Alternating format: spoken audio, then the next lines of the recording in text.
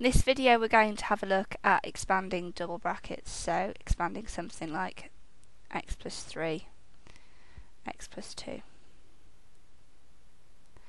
Now the first thing we've got to remember is that what you're doing with these two brackets is multiplying them together. So in there, it's not written in, but there is actually an invisible multiplication sign. Now, there's several ways that we can tackle this question. The first way that we can do it is like your grid method for multiplication. So what you can do is you can draw yourself a little grid, like that, and then split your brackets up. So your first bracket is made of x, and then positive 3. Your second bracket is made of x and positive 2. And we are multiplying those two together. So x times x gives us x squared. Positive 3 times x gives us plus 3x. Positive 2 times x gives us plus 2x.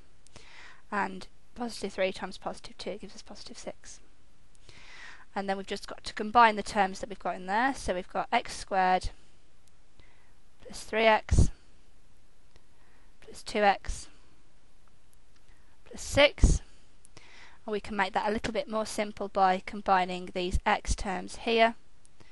So that's x squared plus 5x plus 6. There are another couple of methods that you can use. They all work exactly the same, so it's whichever one you prefer. Um, there's also the method FOIL, which tells you um, which terms to multiply to make sure that you include all of them. So FOIL tells you that when you've got your brackets,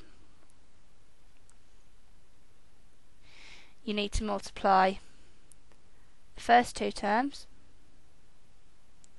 so x times x gives us x squared. The outside terms, so x times positive 2 gives us positive 2x. The inside terms, positive 3 times x gives us positive 3x. And then the two last terms, positive 3 times positive 2 gives us positive 6 and then in exactly the same way we can combine our x terms to give us x squared plus 5x plus 6. Your third method is the one that I call the smiley face method because it looks a little bit like a smiley face when you've drawn it.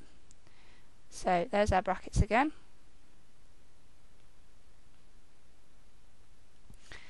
Okay, and what we need to do is we need to multiply x by x, that gives us x squared.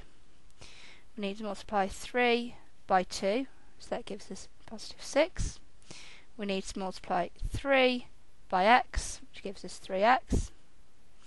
And we need to multiply x by 2, which gives us positive 2x.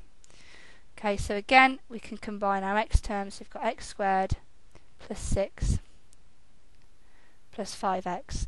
And although the 6 and the 5x are a different way round to the other two answers, it's still exactly the same because I could just rewrite this as x squared plus 5x plus 6 if I really wanted to. So all three of those methods are equivalent. You get the same answer using any one of those, so it's pick your favourite and go with it.